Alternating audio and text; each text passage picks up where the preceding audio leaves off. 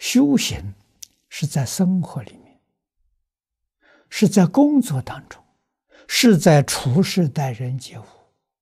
离开了大众，到哪里去修？啊，我说离开大众，我修定。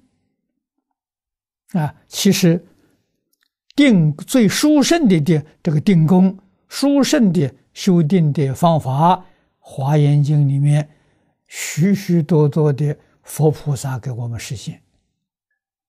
啊，在什么地方修定的？最热闹的场所。啊，我们讲百货公司、商场啊，天天到那去逛、去看，干什么？修定。看得清清楚楚、明明白白，那是智慧。没有一样你不知道。看了之后呢，不起心、不动念、不分别、不执着，这就是大定，自性本定。啊，所以你离开外面。你学不到东西啊！这个修行叫什么？练事练心啊，在事里面磨练自己啊。所以，如果你在繁忙护法工作当中，你没有分别，没有执着，你的事情会做得非常圆满，自己定会等学啊！不是说我什么事情都不做，这叫修行，那就完全错了。啊，每一天敲着木鱼念着经，以为那是修行啊？那是学习。修行在哪里呢？修行在面对一切人事物。啊，看看心还是不是那么清净？啊，繁忙的时候心地还是清净。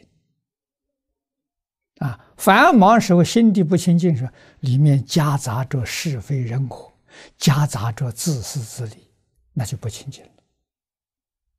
啊，所以在这这个或这个工作当中，要把自私自利修掉，这叫真正修行。啊，起心动念是为别人，啊，没有一点为自己，没有一点利己的念头，把这个修掉啊，这是烦恼习气呀。啊，要在工作里头，要在大众当中把它修掉。啊，贪嗔痴慢，尤其是傲慢，你不对人。你怎么晓得你傲慢断掉了？啊！你不切入大众，你怎么知道你的贪嗔念头没有了？啊！所以修行离不开群众啊。化身菩萨，这是这个这个呃妄想分别之都没有了，为什么还要硬化到六道来？硬化到十法界来，为什么？要把他无始无明的习气断掉。从哪里断呢？接触人事物当中，才知道自己还有没有习气。啊，然后你再晓得护法公子真修行呐！啊，讲堂里面研究你啊，那是真学习呀，学了之后要用啊。啊，用就在护法里头，啊，护法诸位晓得两个目标，第一个护持正法久住，啊，那怎么护持呢？自己以身作则，做出榜样给人看，啊，这个要知道啊，啊，第二个呢，要护持一切众生的正法。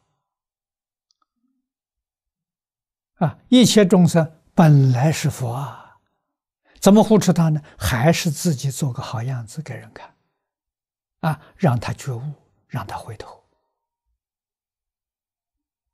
啊，这个样子，世法佛法通通护持了，真护持了，啊，所以全都是从自己做起，啊，自己要做得好，要做出很好的样子来。给人看，啊，要像佛像菩萨，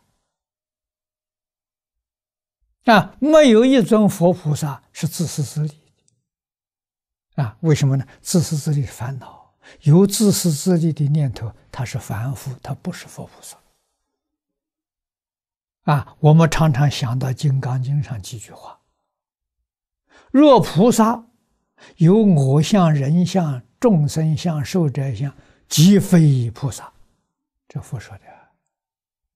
你还有自私自利，你不是菩萨，你是凡夫。啊，菩萨跟凡夫没有两样。啊，不一样的就是，凡夫有自私自利，有名闻利养，有贪嗔痴慢。啊，佛菩萨没有自私自利，没有名闻利养，没有贪嗔痴慢。啊，事情一样做，一样穿衣，一样吃饭，一样工作，一样的活动，就是一个有有妄想分别执着，一个没有妄想分别执着。啊，差别在此地啊。所以你要懂得，啊，真懂得了，你这个问题就没有了，啊。那真修行的人，我们讲过，这个讲讲堂里讲过很多啊，啊，如果我们真的执着没有了，啊，还有妄想分别，生西方极乐世界，生方便有余土啊。啊，如果说我们分别没有了，